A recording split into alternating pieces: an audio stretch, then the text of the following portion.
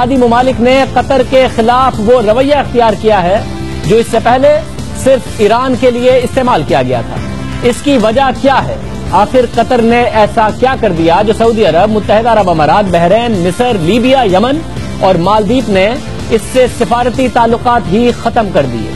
और ये सारे ममालिक फॉरेन पॉलिसी में और इस खत्े की पॉलिसी में सऊदी अरब के इतिहादी समझे जाते हैं, जो सऊदी पोजीशन होती है उसको फॉलो करते नज़र आते हैं, जो सऊदी अरब ने किया, यही कतर के साथ इन सबने किया। कतर से अपने सफीर वापस बुला लिए। कतर में रहने वाले अपने शहरियों को चौदह में वापस बुला लिया और में वो चौदह दिनों में वापस जाने का कह दिया। कतरी जहाज़ ना इन सात मुल्कों में जाएँगे, ना इन ममालिक से जहाज़ कतर के लिए रवाना होंगे। कतर इन ममालिक की ना जमीनी हदूद इस्तेमाल कर सकेगा, ना फिजाई हदूद इस्तेमाल कर सकेगा सऊदी अरब के शहरी फजाई सफ़र के दरमियान भी कतर नहीं जा सकेंगे। और ये इससे फौरी तौर पर पाकिस्तानी भी अफेक्ट हुए हैं, जो कतर एयरवेज के ज़रिए, कतर के ज़रिए सऊदी अरब जाना चाहते थे उम्रे के लिए और मौजूद थे, मगर अब क्योंकि कतर की कोई भी फ़्लाइट सऊदी अरब जा नहीं सकती, इसलिए पाकिस्तानी भी कतर में फंसते नज़र आए। कतर को हाल ही में बनने वाले उनतालीस मुल्क की इस्लामी फौजी इतिहाद से भी निकाल दिया गया है और यमन से कतरी फौजों को निकल जाने का कह दिया गया है। ये सब कुछ अचानक हो गया। खुद कतर भी हैरान है और कतर ने मौका अख्तियार किया है कि अब तक उठाए गए इकदाम बिला जवाज और इल्ज़ाम हकाइक पर मबनी नहीं। इन पाबंदियों से कतर की मज़बूत और मुस्तकम मीशत मुतासर होती दिखाई दे रही है। अब तक की इतलात के मुताबिक सिफारती ताल्लुक खत्म होने के फैसले के बाद खलीजी ममालिक की स्टॉक मार्केट के कारोबार में भी मंदी दिखाई दी। खुद कतर की स्टॉक मार्केट आज दिन में आठ फ़ीसद तक गिर गई। जब आलमी मंडी में तेल की कीमत जबकि एक फ़ीसद तक इजाफा देखने में आया, क्योंकि ये तेल पैदा करने वाले खलीजी ममालिक हैं और इनमें अगर ये मामला हो रहे हैं तो इसकी वजह से एक फ़ीसद आज तेल की कीमत बढ़ गई थी। ये सब कुछ अचानक कैसे हो गया? इतने सख्त इकदाम क्यों उठाए गए? अब तक सूरत हाल वाजे नहीं, मगर जब इल्ज़ाम लगाए गए हैं, वो भी हैरान कन है। सऊदी अरब ने कतर पर सऊदी शाही हुकूमत के खिलाफ सरगर्मियों को हवा देने का इल्ज़ाम लगाया। साथ ही इल्ज़ाम लगाया कि कतर पर अखवान मुस्लिमून दाइश और अलकायदा जैसी जमातों को पना देने का भी इल्ज़ाम है। साथ ही इल्ज़ाम लगाया कि कतर सऊदी अरब और बहरीन में ईरान की मदद कर रहा है और अरब दुनिया के खिलाफ बैरूनी और अंदरूनी साजिशें करने वाले इंतहा पसंदों की हिमायत कर रहा है। यानी सऊदी अरब समझता है कि कतर दाइश की भी हिमायत कर रहा है और ईरान की भी हिमायत कर रहा है। ये इल्ज़ाम खुद तजाद का शिकार है, मगर इस वक्त इस खत्े के जो हालात हैं उसमें क्या ये बात वाकई दुरुस्त हो सकती है? इल्ज़ाम सऊदी अरब का है और उसको मुस्तरद कतर ने किया। बहरहाल, इसके अलावा चंद दिनों पहले होने वाले एक वाक्य को भी कतर और सऊदी अरब के ताल्लुक में हालिया कशीदगी की बड़ी वजह समझा जा रहा है। सिर्फ़ एक बयान, जिसमें जिसको बाकायदा तौर पर बाद में हटा दिया गया और जिसके बाद में वजाहत भी आ चुकी है मगर फिर भी इसे कशीदगी की सबसे बड़ी वजह समझा जा रहा है। अमरीकी सदर डोनाल्ड ट्रंप के दौरा सऊदी अरब के बाद कतर के अमीर का एक बयान कतरी न्यूज़ वेबसाइट पर शाया हुआ। जिसमें सऊदी अरब पर कड़ी तनकीद की गई। फिर यह बयान हटा दिया गया और कतर ने मौका इख्तियार किया कि बयान जाली हैं। वेबसाइट को हैक करके नशर किया गया। कतर इसे शर्मनाक साइबर जुर्म करार देता है। मगर सऊदी अरब अरब इमारात और मिस्र ने कतरी न्यूज़ वेबसाइट पर पाबंदी लगा दी और अब अचानक ताल्लुक ही खत्म कर दिए। इसके अलावा अरब मीडिया ने कतरी अमीर की तरफ़ से ईरानी सदर हसन रूहानी को टेलीफोन पर करने पर भी कड़ी तनकीद की गई।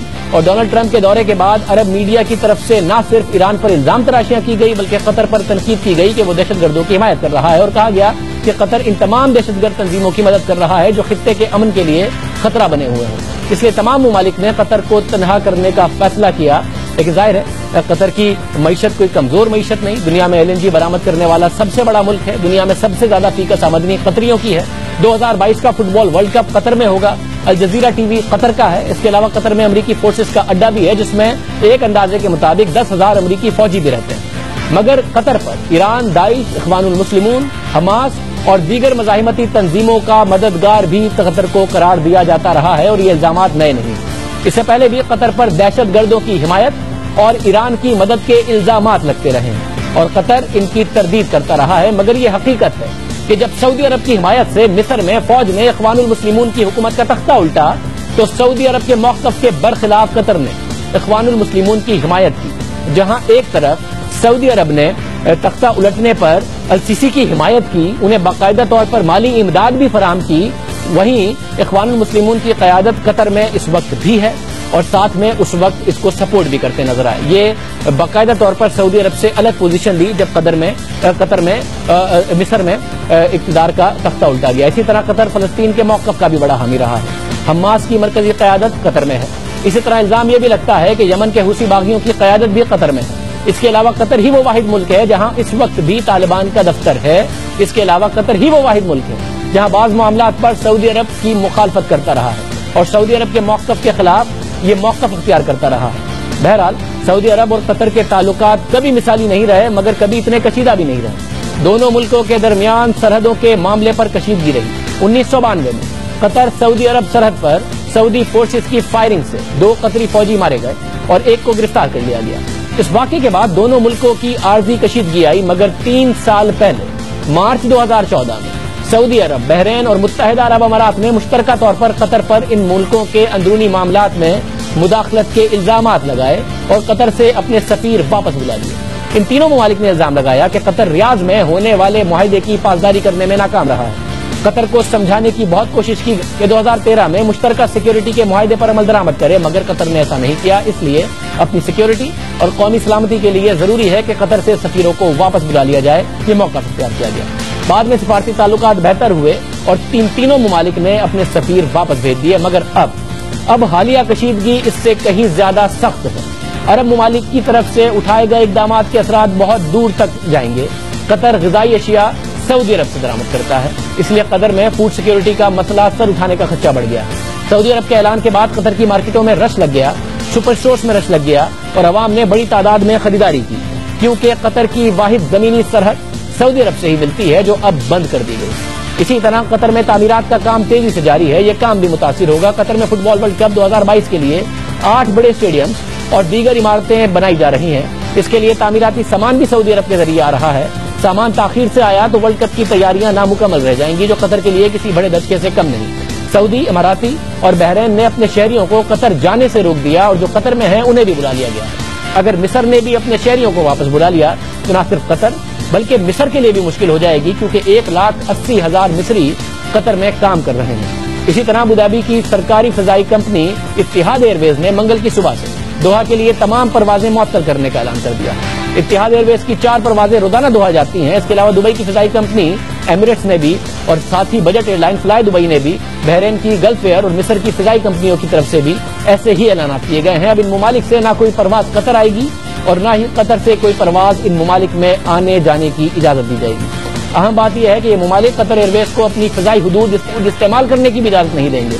यानी अगर कहीं और जा रही है फ़्लाइट तो भी फजाई हदूद इन ममालिक की नहीं इस्तेमाल हो सकती। जिससे कतर एयरवेज के ऑपरेशन पर गहरे असरा पड़ेंगे, क्योंकि दुबई अबुधाबी रियाज और कायरा के लिए रोज़ाना दर्जनों परवाजें चलती हैं, जबकि बैरून मुल्क से रबते के लिए भी फिजाई रास्ते तब्दील करने पड़ेंगे, जिससे अखराज भी बढ़ेंगे, जबकि जो फ़्लाइट छह घंटे की है, वो आठ घंटे तक बढ़ जाएगी। ये तमाम ममालिक कतर पर संगीन इल्ज़ाम लगा रहे हैं, मगर कतर की वजारत खारजा ने मौका अख्तियार किया कि सिफारती ताल्लुक तोड़ने के इकदाम बिला जवाज हैं। इल्ज़ाम हकाइक पर मबनी नहीं, ये फैसले कतरी अवाम और मुल्क में मकीम, दीगर अफराद की ज़िंदगी पर असर अंदाज नहीं होंगे। खरीदी ममालिक की कशीदगी ने पाकिस्तान को नए इम्तिहान में डाल दिया पाकिस्तान की वजारत खारजा को एक और इम्तिहान का सामना। पाकिस्तान दो दोस्त मुल्कों में से किसका साथ देगा? पहले ही पाकिस्तान के लिए ईरान और सऊदी अरब में से किसी एक का इंतखब मुश्किल बना हुआ। है गुजशत एक साल से पाकिस्तान के लिए यह मुश्किल भी रही कि यमन में किस तरीके से सऊदी अरब की ख्वाहिशात पूरा करते हुए उस जंग में साथ दे। पाकिस्तान न्यूट्रल रहा, वाज तौर पर नाराज़गी नज़र आने लगी। कुछ बयान भी मुतहदा अरब अमारात की तरफ़ से नज़र आए, सऊदी अरब की तरफ़ से नाराज़गी के इशारे दिए गए। फिर ये कॉन्फ्रेंस हुई। राहिद शरीफ साहब इस इतिहाद के सरबरा बनने जा रहे हैं और अब कतर और सऊदी अरब में से क्या किसी एक का इंतखाब तो नहीं करना पड़ेगा? कोई नई मुश्किल तो नहीं बन जाएगी। पाकिस्तान पर एक नया प्रेशर तो नहीं आएगा, क्योंकि कतर के साथ पाकिस्तान के ताल्लुक भी बेहतर हैं। हालिया एलएनजी के माहे भी बहुत ज़्यादा कतर के साथ हुए हैं, जबकि शरीफ खानदान के अपने ताल्लुक कतरी खानदान के साथ बहुत ज़्यादा बेहतर हैं। खबर रसा इदारे रॉयटर्स के मुताबिक पाकिस्तानी वजारत खारजा की जानब से जारी होने वाले एक बयान में कहा गया है कि पाकिस्तान ने इस हवाले से इस वक्त तक कोई फैसला नहीं किया। अगर कोई पेशरफ हुई तो बयान जारी किया जाएगा। अब जो कुछ मशरक वस्ता में हो रहा है न सिर्फ़ खत्े पर, बल्कि पूरी दुनिया में, खासतौर पर पाकिस्तान पर असरअंदाज होगा। और इस वक्त वो सैकड़ों पाकिस्तानी, जिन्होंने उम्र के लिए कतर एयरलाइन के ज़रिए सफ़र किया, हम बता रहे थे, वो भी फंसे हुए हैं। इसके हवाले से वो वापस आएँगे। किस तरीके से कतर एयरलाइन उनको फैसिलिटेट करेगी? हमने वजारत खारजा से इस हवाले से मौकफ मालूम करने की कोशिश की तो जवाब यही आया कि जो खबरें मीडिया पर चल रही हैं, पाकिस्तान के मौकफ के हवाले से वो दुरुस्त नहीं है अभी। और जैसे ही पाकिस्तान का जो भी मौकफ होगा, वो बताया जाएगा। हम जानना चाहते थे कि पाकिस्तान इस पोजिशन में कहाँ खड़ा है। जहाँ शाम में जंग हो रही थी और बशारुल असद के हवाले से जब इन तमाम ममालिक की एक पोजीशन थी तो पाकिस्तान ने एक अलग पोजीशन अख्तियार करके रखी कि हम इस तरीके से बाय फोर्स किसी को इकतदार छोड़े, इसके हामी नहीं है। फिर यमन का मामला आया, तब भी पाकिस्तान ने न्यूट्रल पोजीशन अख्तियार की। कोशिश की ईरान और सऊदी अरब की दोस्ती कराने की, कामयाबी नहीं हुई। और ईरान और सऊदी अरब की तरफ़ से एक दूसरे के बारे में ऐसे रिमार्क दिए गए, जो और दूरी को ज़ाहिर करने लगे। और अब अब मामला एक और है क्या ये पाकिस्तान के लिए इम्तिहान होगा? दफ्तर खारजा से हमने पूछा तो उन्होंने अभी मौकफ नहीं दिया। क्या पाकिस्तान पर दबाव बढ़ेगा? या दबाव बढ़ाया गया है? इस हवाले से भी अभी तक हमें कोई मौकफ नहीं मिला। प्रोग्राम में ब्रेक शामिल करते हैं। आम